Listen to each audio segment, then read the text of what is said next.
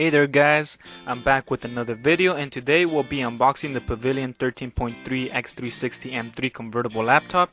This is a Best Buy exclusive, so the only difference I noticed is that the one from the HP website has some stripes on the left side of the laptop when you open it up and it does not have the gold keyboard. So if you're looking to get this exact model, you might have to pick it up at Best Buy or on Amazon or eBay if you're able to find it there. As of now, you can pick this up at Best Buy for $699, which is a good deal. A month ago, this was a $799, so that's $100 off. So let's get started. So at first, we're greeted with the documentation for the laptop, and meanwhile, she takes the laptop out of the box. I'll run over the specifications real quick. This is configured with an Intel Core i5, 8GB of RAM, 13.3 Full HD IPS display, and 128 gigabytes of solid state drive, which is going to be pretty snappy. You can go with the lower model, which will reduce the price to 400 on the Core i3 model. So on the bottom here we have some plastic, uh, which is pretty durable and it has a nice tone finish to it. The laptop is very thin and looks very sleek, even more in person. Its small profile makes it easy to carry around with one hand without much struggle. The overall exterior look is very elegant with the modern gold finish. It feels great to the touch. You won't be able to open this using just one hand, so you are going to be needing both your hands to open this up. The interior has the charcoal black which complements the gold keyboard nicely so it makes it stand out a lot more. The HP hinges on this keyboard is set to last up to 25,000 closing and openings and what seems like a little bit to me 7,360 degree rotations. The B&O speaker sounds great and it gets reasonably loud so it's great to use this while watching a movie or listening to something indoors.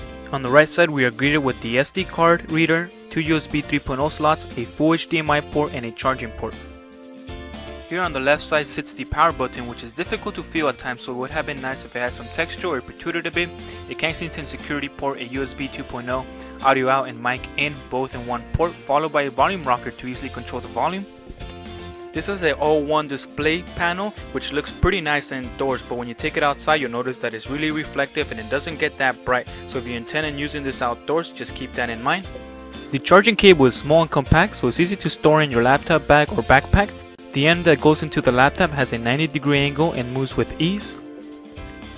You can use this laptop in three different ways and one being as a tablet and this does weigh 3.48 pounds so it's pretty heavy if you just carry it with both hands while you're laying down.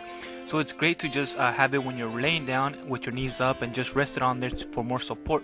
So that's really really nice way to use it. So when you do flip it over to tablet mode the keyboard becomes disabled so you don't accidentally press on it. So you're going to be using the virtual keyboard on the display. Another way to use this laptop is in the tent mode which is really great when you're watching movies or you're just playing some games on this and another way also that's great to watch movies in is in the stand mode, which I totally forgot to show you guys. I'm sorry about that, but it's just basically just just laying the laptop on the keyboard and turning it back. So it's a nice ways to use as well. This only comes with one level of brightness, but was really hoping for two. It gets quite bright and goes through the letters and numbers so you can easily see which key you're going to press next. This brings me to the typing experience. The keyboard is very robust with a better keyboard travel than on my Dell laptop. The keyboard has a bit of flex on it but is very comfortable with typing on it, well at least for me it is. And and this makes it great for typing long essays for college if you're going to be using this for school. With this good build I can go all crazy on this keyboard. The trackpad is very responsive and smooth. The battery life on this is decent at 6 hours and 30 minutes on a full charge. The 8GB of RAM is soldered into the board and the 128GB of memory is user replaceable.